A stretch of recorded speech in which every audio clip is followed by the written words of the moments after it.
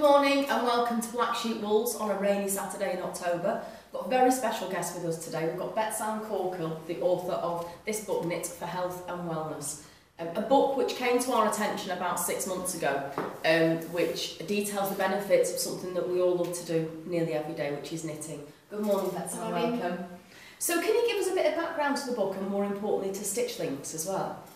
Well, I set up Stitch Links in 2005 because I thought it was important for people to have uh, information from um, accurate information from trustworthy source. Um, and uh, I, my background is as a physiotherapist, but I gave up physiotherapy in 2002 because I became really frustrated at not being able to give my patients the time and treatment mm. I felt they needed. And Mrs. Smith wasn't getting out of her chair because she had no reason to get out of her chair. Many of the patients I visited were completely demotivated by the system they found themselves in and they had no social contract, no reason to actually get going. So I felt we needed to take a step back with, the, with these patients. They needed social contract, they needed to develop an aspiration in improving their well-being um, and they needed uh, to, to get an interest in the world again. So I gave up my career as a physiotherapist and became a freelance production editor for a range of camera, camera and computer magazines and then ended up on a range of craft magazines where I was put in charge of the letters pages. And reading the letters was my light bulb moment, really, because about 98% of them, I would say, were talking about using knitting as therapy. Right. So I was, I had sort of a clinician's head. My clinician head switched on straight away again. and uh, sort of I wondered why these people are making these claims. And the most significant thing was there were large numbers of people from all over the world, different backgrounds, yes. different cultures, saying exactly the same thing. So that was, you know, that was really si significant. So the magazines made it known that I was interested in actually researching that further. Right. Um, So, and it was around the world then started sending me their stories. And it was at that stage that I realised I'd stumbled, literally stumbled across something yes. really important, really exciting, something that could change the way we all view our well-being, but also the way that we treat and manage medical conditions. Okay. Um, and I approached the pain clinic at the Royal United Hospital in Bath and asked them if they'd be interested in setting up a social knitting group to test out my theories. Mm. And to my surprise, they said yes. so then I had a major panic because I realised I had to learn to knit. and had you knitted before? Uh, yes, my mother told me when I was seven, but I hadn't, and I knitted a little bit when I was expecting our children, but nothing on a regular or major um, right. side, no. And what, what is it about knitting? Why, why is it specifically knitting that has these benefits? Well, you, as you can see from the equation behind us, um, knitting involves patterns of movement and hand position. Then you have the enriched environment, which you get when you're knitting on Yeah. your own. And then you can choose whether or not to join um, a social knitting group. Plus, of course, it's highly portable, and the portability of it is really important when we're developing healthcare too, because Right. that gives people portable power in their hands that they can use anytime, anywhere. And, that, and that's, you know, you can use Yeah. it in bed, you can use it from a wheelchair, you can use it on the bus. Um, so that really um, makes knitting different from a lot of other crafts. Um, but to get the, the um, most benefit, I would advise knitting on your own and knitting and combining the two. These elements here make knitting different and they involve patterns of movement. They're bilateral, they're rhythmic and they're cross-body. Right. Um, and those can have an influence on the, on the brain which change the brain um, in certain ways. But also the hand position increases personal space. It provides uh, a lot of knitters, a lot of the narratives I've collected say that it gives them an increased sense of safety.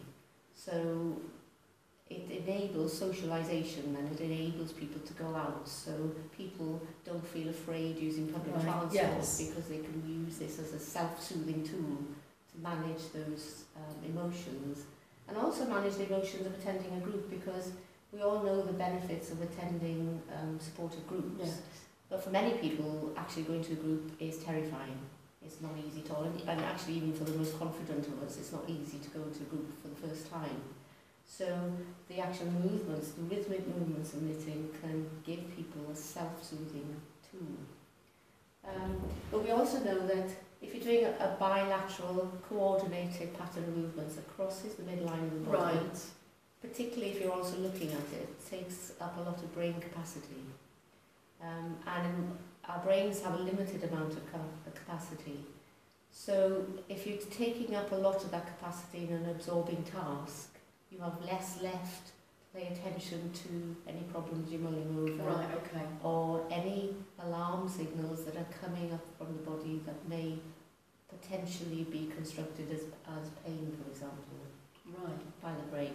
So um, it's a very effective distractant, but also what many knitters are saying is that it gives the mind a break, gives Yeah. the mind a mini break, it's like escaping into a sanctuary of a quiet mind.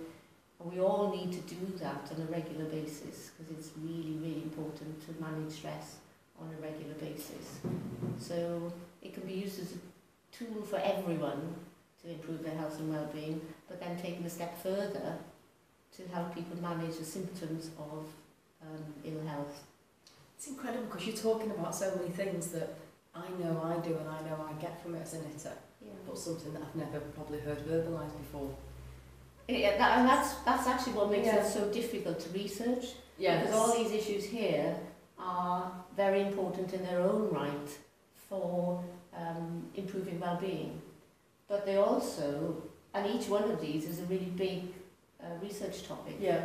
but they also all interact really closely and if you if you research just one of these issues if you just for example research knitting in a group you'll miss the important interaction of knitting uh, at home linked to that group um, and you might miss then a really important bit of the jigsaw Right.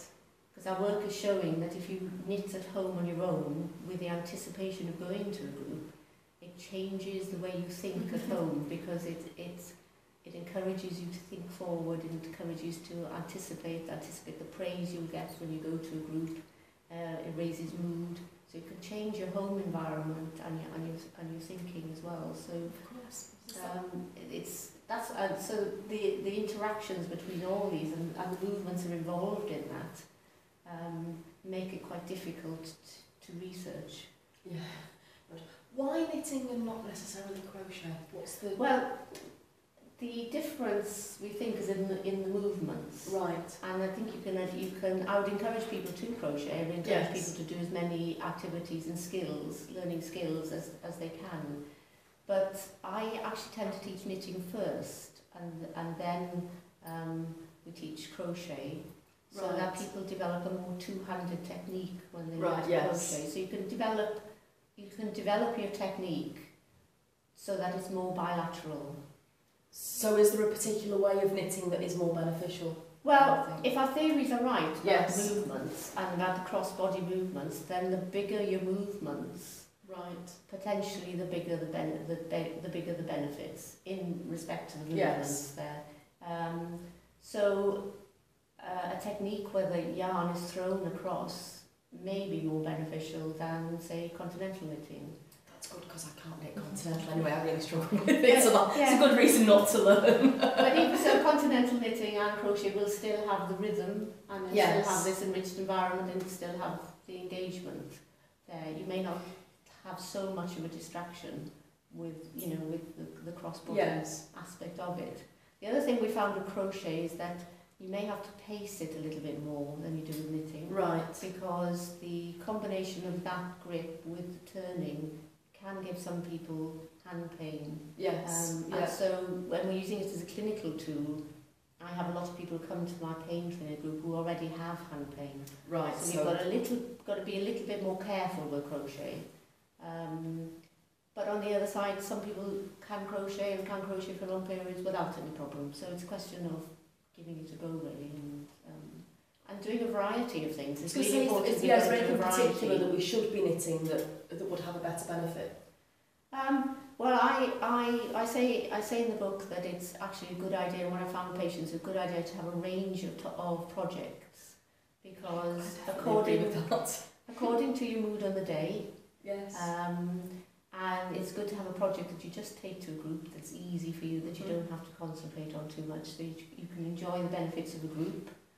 Um, and for example, a more difficult project will put you into a different mind state from an easy project.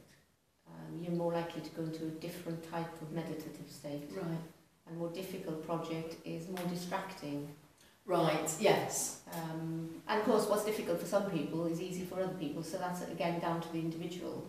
So if you want to distract yourself from problems or symptoms of pain, for example, uh, you might choose a more difficult project. Okay. On the other hand, if you want to just purely relax, a nice easy project you don't have to think about. If you're feeling low, um, uh, a small project that you finish quickly, you get quick results at, quick fix. Yeah, it's got bright it's got a colours sense of that achievement, imp- yeah. you know, that improves. You get the the um, blast of the colour as well, Yeah. the stimulation of the colour. So the colours make it, colour makes a difference as well. yes, it does. And, but we found that texture is twice as significant as colour Right. for affecting mood, and that the, the tactile response um, often translates into an emotional response. So if you're touching something that feels good, it makes you feel good. Yes, yeah. So texture first, then colour, but the, obviously the ideal combination is beautiful texture in your favourite colours.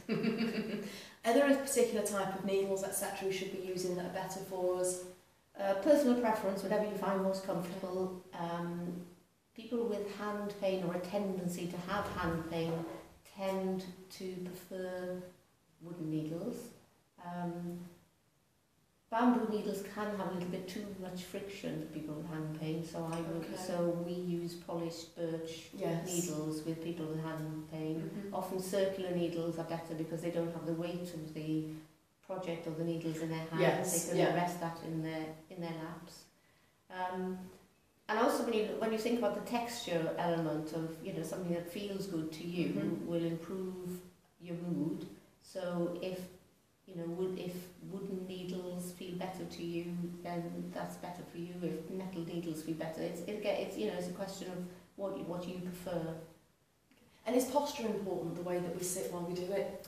Yeah, if you think about it, if you're sitting for long periods of time, then the way you sit is is important. It's the same as you know the it's very important to sit at your computer. So if you're sitting at a computer looking for patterns for a long period of time, Yes. you're sitting, it is important to sit it's properly. But the most important thing is actually to remember the posture is dynamic and to keep moving.